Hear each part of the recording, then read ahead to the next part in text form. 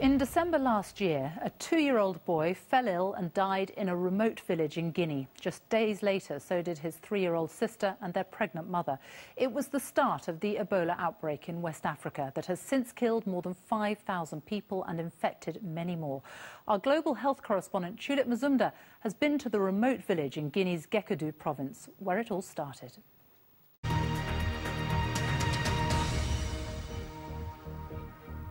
Good evening and welcome to the BBC News at 6. A children's cancer specialist who abused boys in his care has been jailed for 22 years. Myles Bradbury, who worked at Addenbrooke's Hospital in Cambridge, pleaded guilty to 25 offences against boys between the ages of 10 and 16. Some of the children have since died from their illnesses. A judge today said the 41 year old doctor had carried out one of the worst forms of sexual abuse imaginable. Sean Lloyd is in Cambridge. Sean. London's airspace. For a time this afternoon, no planes were able to land or take off at Heathrow or Stansted, and all departures were suspended at Gatwick. London City Airport and Luton were also badly affected, and many airports across the UK reported delays. Air traffic control says the computer problems have been resolved, but tonight there are still delays and cancellations. Our correspondent Daniel Boettcher has more details. Water companies in England and Wales have been ordered to cut bills by an average of 5% in real terms over the next five years.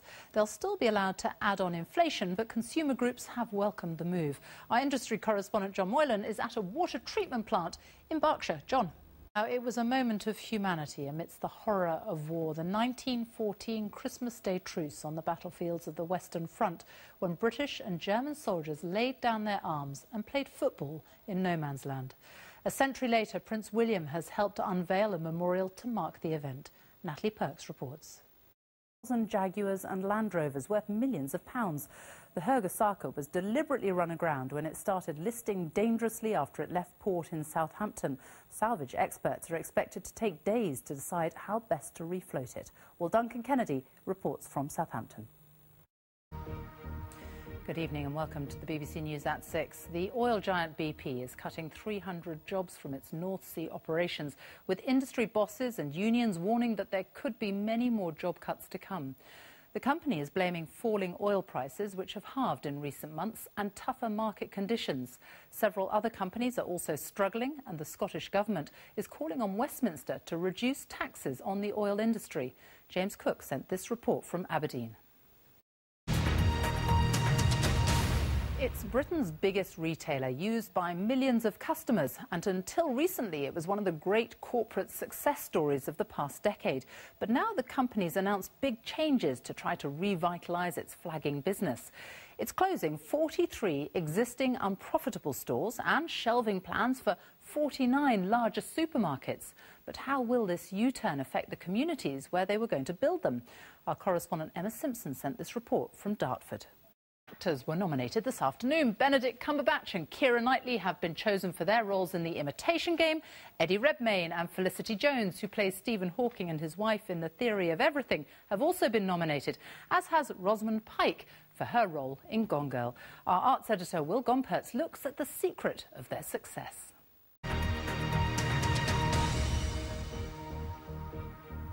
Good evening and welcome to the BBC News at 6. Two men killed in anti-terror raids in Belgium yesterday were hours away from carrying out a plot to kill policemen, according to the authorities. Weapons, money, false papers and police uniforms were found during the raids in the town of Verviers.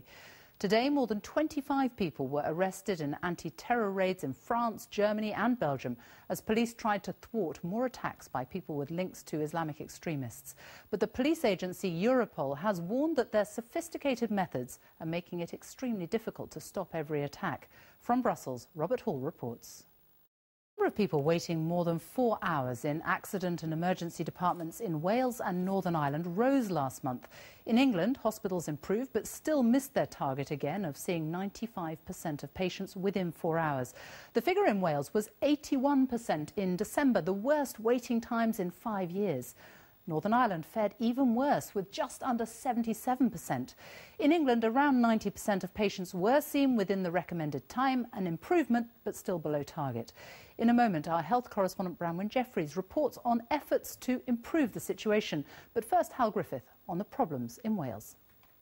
50 million pounds and its mission more than a decade ago was to land on Mars but it disappeared in December 2003 as it neared the red planet from where it was supposed to start transmitting data back to Earth once it had landed and it hadn't been heard from since but today scientists announced that they have found it here it is, these grainy images showing it on the surface of Mars, just a couple of miles from its intended landing site.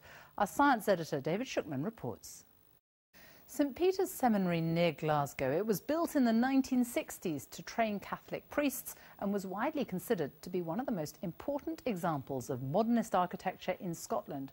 And this is what it's like today. It's in such a terrible state that there's no hope of restoring it properly. But now it's been given to an artist who has big plans for it, as David Sillito reports.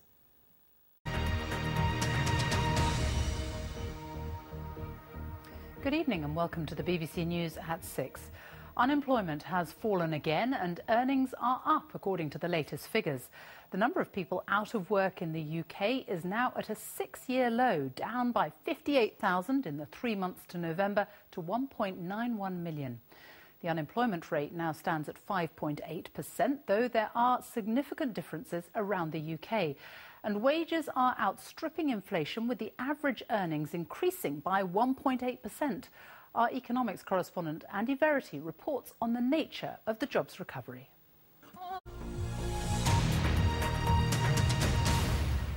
They're called northern white rhinos and they are on the edge of extinction. These animals, prized for their valuable horns, have been hunted by poachers for decades. Now there are just five of them left in the world. Conservation experts are desperately trying to find a way to save them. Our science editor, David Shukman, has been given special access to one of the last survivors. HMS Victory. She was Lord Nelson's flagship at the Battle of Trafalgar in 1805, but more than two centuries later, she's in urgent need of repair. Hundreds of thousands of people flock to see her every year in Portsmouth. She's one of the oldest warships in the world, and now she's facing a new battle of her own. Well, our correspondent Robert Hall is there.